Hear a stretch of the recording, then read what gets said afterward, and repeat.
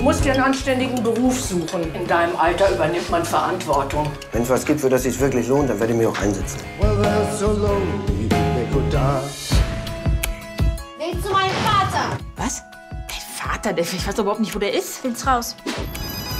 Ja? Ich bin's, Julia Dolamar. Julia. Du hast eine Tochter? Sie heißt Mai und sie will unbedingt zu dir. Ich hab was? Ich hab eine Tochter. Verstehst du? Ich hab eine Tochter. Und ich hab zwei. Bist du Mai?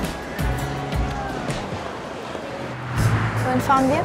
Fahren über Dänemark und Schweden nach Norwegen. Wegen dem Job. Da ist das Prachtstück. Na du? Das ist ein Schaf. Das ist nicht wie mit dem Hund.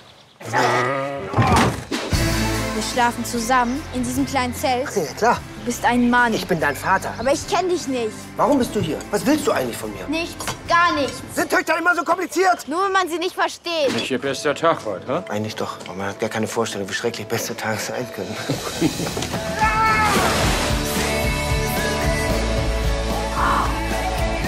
Bist du enttäuscht? Von was? Na, von mir. Ich habe mir meinen Vater ganz anders vorgestellt.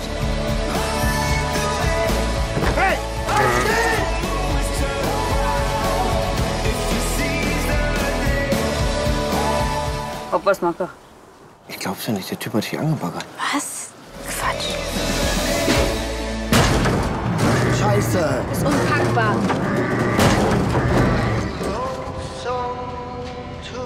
Scheint ihm zu gefallen. Oder er hat sich zu Tode erschrocken.